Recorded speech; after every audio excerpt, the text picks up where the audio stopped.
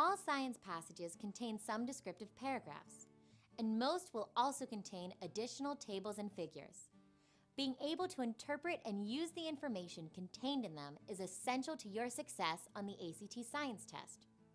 So what kind of information do you want to notice in tables or figures? Take notice of variables, units of measurement, and patterns. Remember, step two of the Kaplan method for ACT Science is to scan figures, identifying variables and patterns. Identifying variables is tricky, so here's a way to define them. The independent variable is the variable that is changed in order to perform the experiment.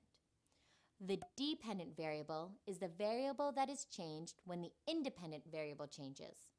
In other words, the dependent variable depends on the outcome of the independent variable. For example, if you measure the height of a bean sprout under full sunlight for 10 hours a day versus the height of a bean sprout under 5 hours of full sunlight per day, the amount of full sunlight is the independent variable, the variable that is controlled. The growth rate of the bean sprouts would be a dependent variable. Let's identify the variables in the passage we mapped in the previous lesson. Experiment 1. 25 groups, each consisting of six bats, were placed in 25 separate simulated caves. The environment of the caves replicated the natural habitat of the bats. Twice during nocturnal hours, a beam of light was sent into the simulated caves for three minutes each time. This procedure was repeated 21 times in the course of three weeks, at varying times during the nocturnal hours. Throughout the trials, not one bat was observed to respond to the light. Experiment 2. 25 bats were placed in 25 separate simulated caves.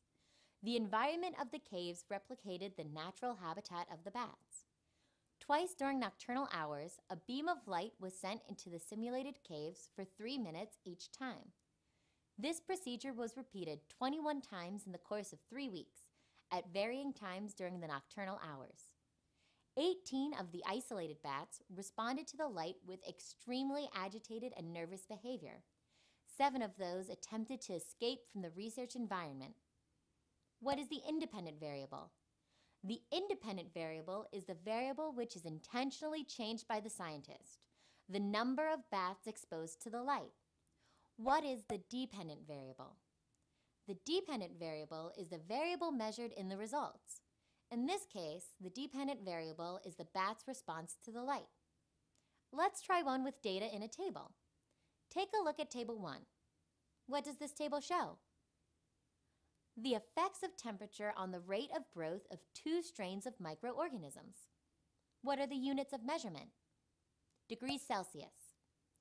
What happens to strain A as the temperature increases? Its rate of growth increases as temperature increases. Great work! You need to get in the habit of identifying variables and patterns in figures and tables.